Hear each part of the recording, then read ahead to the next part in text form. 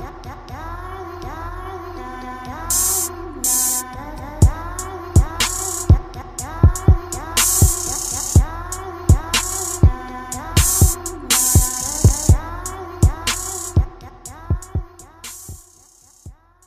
guys, this is Tom from Tom TV here bringing you a highly requested tutorial. I've had about 10-15 people actually message me or comment on my last tutorial to do a tutorial on this one. So um, today I'm going to be bringing you how to add black flashes and basically how to trap edit um, in Sony Vegas. This works in 10, 11, and 12. Um, I've never seen 8 or 9 so uh, it may work in there. I don't know. Um, first thing, this is not my cat. Okay, I don't have a cat, but I do like cats. Um, second thing, uh, here's my audio. This is my black cinematic bars here, and the clip. So I'm gonna go ahead and get started and disable resample on these. If you don't know how to do that, you just right click, go to switches, and disable the resample. Um, so basically to get started on this, uh, you're going to create a video track, so right click on your tracks and insert a video.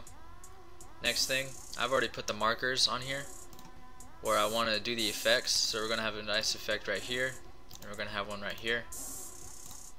So we're going to go to our media generators, we're going to click on solid color, grab the black solid color, and put it above your clip. If you're using the black cinematic bars the way I do in Sony Vegas, make sure it's under that too. Um, just to be safe. Alright. We're going to go ahead and trim our effect. So just press S on the keyboard as in snake. If you don't know how to do that already, then we're just going to get rid of this stuff. Actually, you know what? We'll make it right here too, because that's where our second one is going to be. Alright, so these are basically our effects here. Right now, it's just black.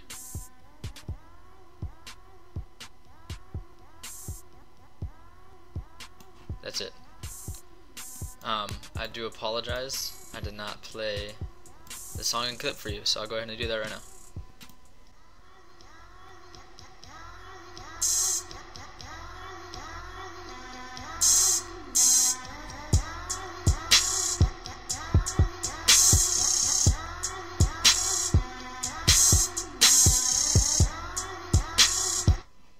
Alright. So that's the song and clip. Um, couple things. If you make this effect too quick, and you know what I'm talking about in a second because I'll show you, um, it just looks basically like this. It just looks black. Um, if you make it too long, it doesn't. It just it looks dumb, and you don't want to look dumb. So uh, the easiest way I've seen it, and there, there's a couple ways to do it, but this is the way I taught myself how to do. Uh, I'll show you, and I'll show you what it looks like when it looks dumb. So if you go one frame over, and you basically do the effect, it just stays black. Alright. I just redid that. If you don't know how to undo things, it's Control Z. Uh, so I'll show you how to actually do the effect. You're going to go ahead and click right here where you want it to start and go over two frames. Press S on the keyboard and cut down the clip.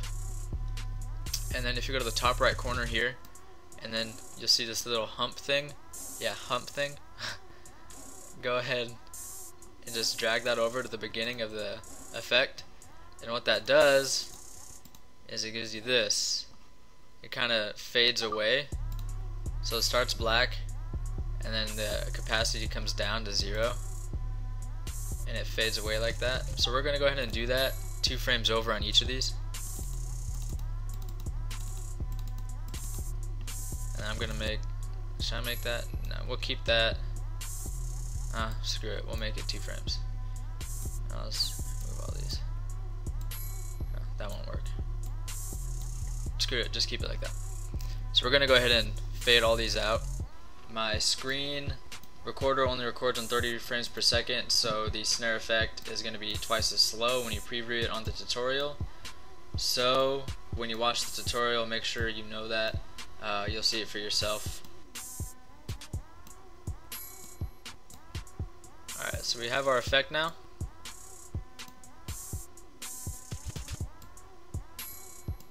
Cool little snare effect. Um, I will preview this for you. Um, it'll take me a couple tries because I only have 4 gigs of RAM on my computer, so I'll probably have to play it through a couple times. But uh, just give me a second.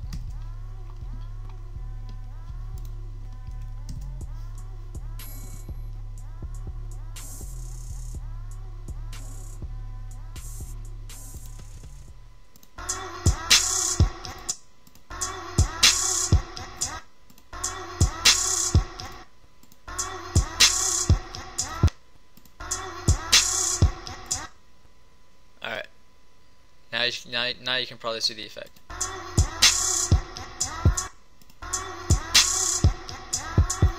So as you can see it matches up with the snares really good. Um, it has a nice fade in, fade out effect.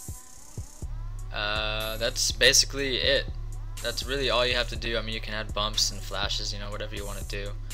But uh, I'll go ahead and do another one right here for you. This is a longer snare so you, you should be able to see it a little bit better.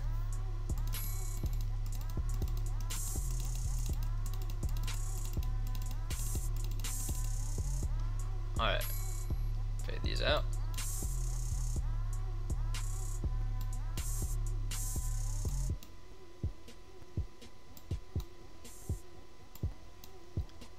And yeah, it is kind of a pain. It takes a while, but editing always takes forever.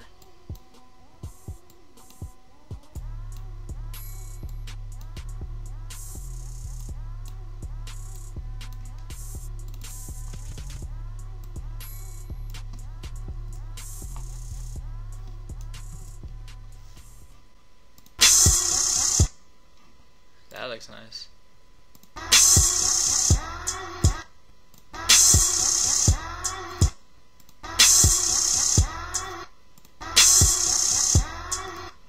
Alright, so that fits it really good. Um, another thing you can do if you don't want the effect to be super dark like it is right here, you can always bring the capacity down over here. I did that a couple times in the edit in the beginning. Uh, by the way, you guys never gave me feedback on whether you like the edits in the beginning or not, so I'm going to keep doing them until you guys tell me not to. Because I actually have fun doing them. They're a lot of fun.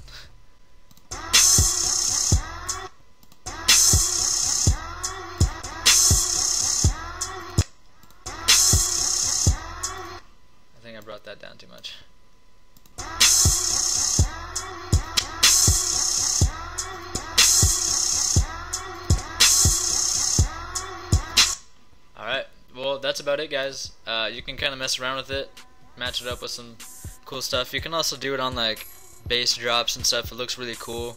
Um, it's just about being creative with it and kind of messing around. Um, if you guys have any questions, comments, concerns, go ahead and inbox me or add me on Skype. Um, also, if you want, I'll give you my email address, uh, which I don't check very often. so go ahead and leave a like and a comment if you enjoyed this tutorial. Um, leave some requests for other tutorials, and just let me know.